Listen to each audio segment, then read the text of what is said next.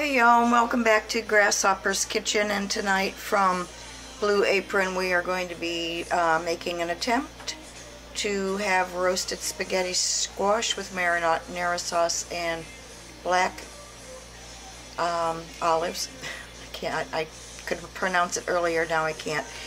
But anyway, um, despite all that, let's just go through the um, ingredients. So we have a can of of Cento petite diced tomatoes. There are um, cremini mushrooms, three very nice looking ones.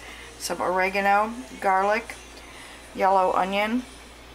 There is our uh, spaghetti squash here. And then in the knickknacks bag we had grated Parmesan cheese, black Cerignola olives, and butter. And then we also have my Bella Familia Greek olive oil, um, the unpronounceable Italian name Blue Persian salt, and the Alessi whole mixed peppercorns. So I've got the uh, pan already lined with parchment paper here to roast the um, spaghetti squash in the oven. So now I'm going to prepare all of these ingredients. Okay, so progress report. We have um, mushrooms that have been, um, I guess, medium diced. The onion has been small diced. Four cloves of garlic are ready to be squished.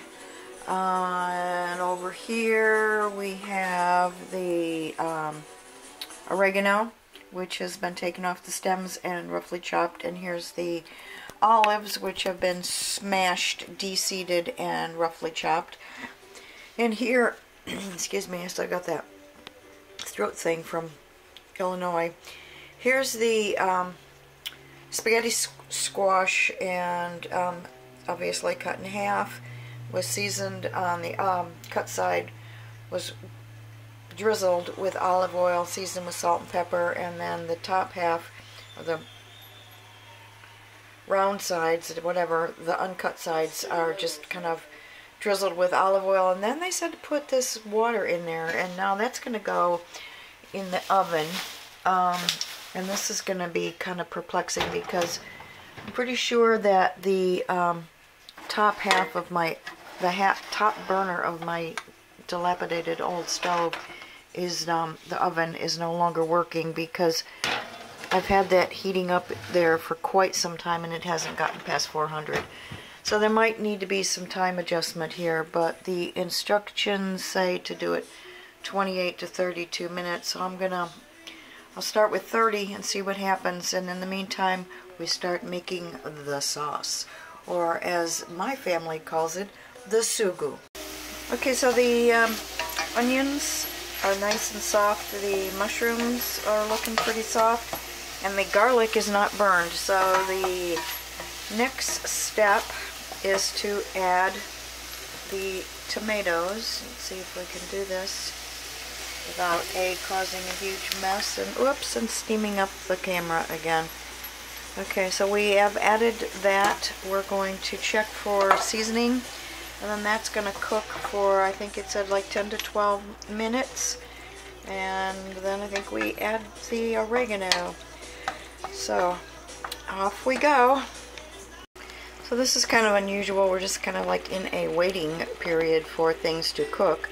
Um, the spaghetti squash, the first 30 minutes is up in probably about six minutes from now. And um, I don't think that this is going to probably thicken up much more than this unless I want it to burn. Um, so I think I'll be turning that off and adding the oregano in another minute or so and I'll check on the spaghetti squash. So the um, sauce is thickened up and it looks pretty good and it's just kind of sitting over here waiting to be eaten. And the spaghetti squash is done. I did scoop the seeds out and um, I'm going to try to clean them up and see about um, maybe tossing them in some olive oil, salt and pepper and uh, throwing them back in the oven and crisping them up a little bit they should be pretty good. But now I'm going to make an attempt to get get the uh, cooked squash out of the shell and into a frying pan. And that was, um, I'm not sure that was harder than I thought it was going to be, or maybe not as hard, but um, I didn't wait for it to cool down. I'm too hungry at this point, so I just kind of ripped them out of there and um, shredded it up. And now we are to the next point, which is um, we've got the butter in a pan with three tablespoons of water and that is melting um, at medium heat and then what we're going to do is when it's when it's melted together we're going to throw in the spaghetti squash strands and season with salt and pepper. And then we're going to cook for two to four minutes or until the water is evaporated.